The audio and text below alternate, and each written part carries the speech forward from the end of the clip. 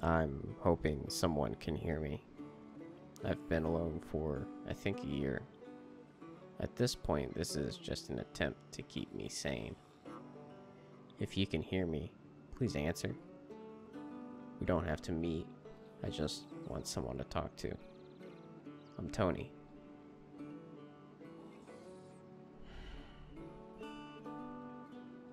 Maybe you were just too scared to talk to me. That's fine, too. I started watching the news again. I recorded them a while ago. Kept them with me. Uh, just in case humanity ever recovers. We need to remember what happened. People have been separated. Folks have been evacuated. I understand the difficulties facing us. However, I have faith in the fine people of the Center for Disease Control to get to the root of the panic and confusion within the exclusion zone. I have faith in our servicemen and women to fulfill their duties and for General John McGrew to command them with the foresight and dedication he has shown throughout his exemplary career. It is a distressing time, America, but you are in safe hands. Thank you. This came after a statement from General John McGrew on the borderline of the event itself. There are many rumors circulating, many falsehoods. This is an appeal for calm. I can confirm there has been an outbreak. The ailment is, as yet, unidentified. It is flu like. It leads to panic. It leads to confusion. There is no evidence of fatalities within the exclusion zone. We are using judged and judicious force to maintain the border. Warning shots have been fired. No civilians have been harmed. We must ensure that this infection is not allowed to spread. I am in hourly contact with the President on this matter. The no fly zone will remain in place for the foreseeable future. At this time, we will take no questions. We'll have all the news as it develops. WBLN. Your news. Your. They were hiding facts from the public from the start. But knowing how it ended, I don't think them telling the public would have made a difference. I was naive then. I had thought that maybe the military would rescue those left in the zone. I started breaking into the homes on my street, looking for food and weapons to defend myself. Aside from occasionally going outside, I hid in my house in front of the TV, waiting for the news or an opportunity to leave. But the news only got worse. Breaking news we have images of some of the victims of the Knox event. They are shocking. If you have children in the room, just, just don't let them see. Yesterday, the president said recovery was possible, yet increasingly unlikely. Today, we saw this image a man covered in blood, a man covered in what analysts are calling bite marks. There has been no official statement. Let's go to Richard Gershwin on the event boundary. There's shock here. There are tears. There is anger. Hope has been fading fast for days. The faces of the soldiers on the barricades suggested this all along. But still, the people ask why. Why say panic and confusion, when in reality, there is so much more? His revelation isn't going to help him in stemming riots, Richard. No, Diane, it's not. The people here, they're. Fuck McGrew. Fuck his lies. Man, we are live. Fuck this shit. The curfew begins at 6 p.m. Eastern Time. Please stay in your houses. Tune in to local programming for curfew information. WBLN.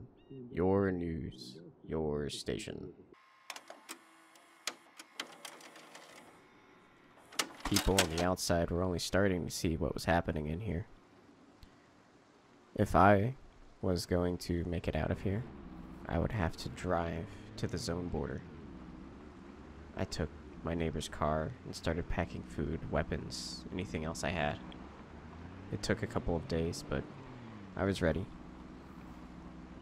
I was going to make stops along the way, avoid the dead, check for more food.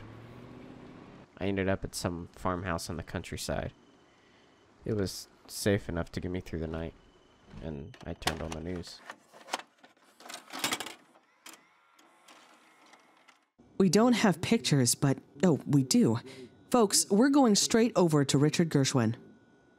I've I've been attacked, bitten. This huge wave of they're dead, Diane. There's no other way to say it. We were being held by the army for filming the the guns.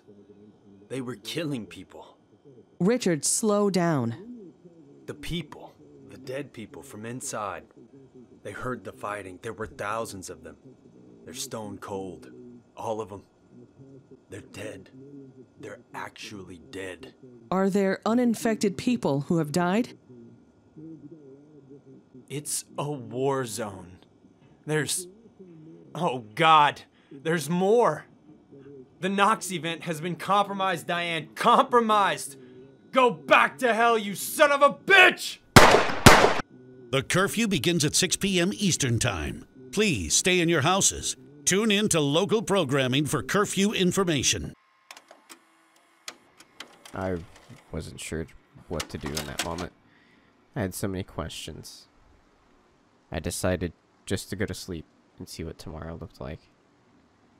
I had to swap stations, uh, and WBLN was down and just not reporting anymore, so I went to Triple N. This is Triple N. We are going straight over to the Knox event. Kristy, are you there? I am. There are horrific scenes here. All reports indicate that violence and gunfire in the border camp caused a surge of infected civilians that broke through the border. We have no official numbers, but casualties are high.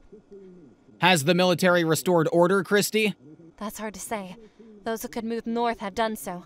A large number of military vehicles are moving alongside them. The army is pulling back. The camp has been abandoned? Yes, but I'm sorry to say this, but some have been left behind. Some folk who were bitten. Some folk who wanted to stay and help. It's a desperate scene here in Kentucky. Desperate indeed. Thank you, Kristy. The curfew begins at 6 p.m. Eastern Time. Please stay in your houses. Things were not looking good. I still had hope. At the time, I decided I'd keep moving even if I have to drive through the war zone of Louisville to get to safety. I drove to another farmhouse not too far from Muldraugh. I spent the night there and woke up the next morning to this. This is Triple N, bringing you the facts you need to know as the Knox event widens. We're here with vital news. As the Knox infection spreads, so do the scenes of horror. After 24 hours, the spread of flu like symptoms have accelerated. There are suspected cases throughout surrounding states. However, there are individuals who are not immediately endangered. We have obtained this audio file from Kristy Cormick. I'm hoping you guys get this. Duke, my camera guy, he got the fever. Everyone's got it here. I don't know why. Maybe it's just dormant. Maybe we had it all along. But everywhere I look, I see dead and dying people. Left on the street, dying in doorways. But I'm okay. I need you to tell people that I think some people are immune. Some lucky people. Oh god, I've gotta go. They've seen me. They've seen me. I had a feeling she was onto something, and she was. Those of us still alive are immune, at least until we get bit.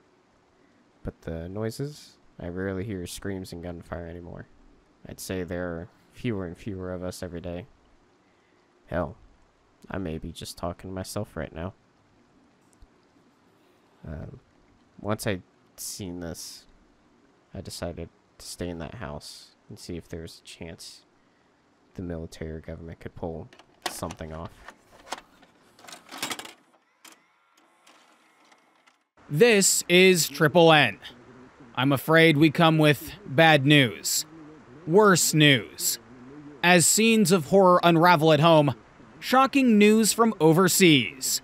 Symptoms similar to those of the Knox event have been reported in the United Kingdom and in Somalia, Africa. These pictures clearly show Knox event infections in Norfolk, England, and at an unknown location in the Somalian capital, Mogadishu. I'm so sorry. We have anecdotal evidence that a very small minority of people may be immune. Wherever you are, though, please take care. Take care of your loved ones, find food, and hide. Please don't fight. We can do this together. I was unsure what to do. Everywhere was like this. No one was coming. What was I going to do? I ended up going to bed, trying to wait for more information. The following morning, no stations were broadcasting. I grabbed a radio from one of the bedrooms, started flipping through stations. I found one station playing on repeat. This message.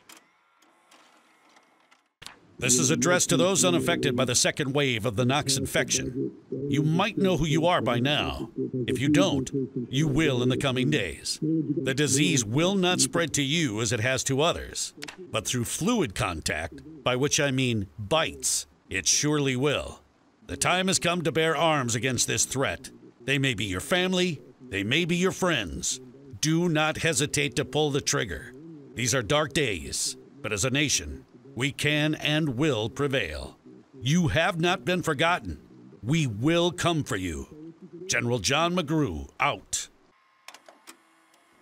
In that moment, I knew without a doubt that the world I once knew was over. I'd have to learn how to survive in this new world. But how?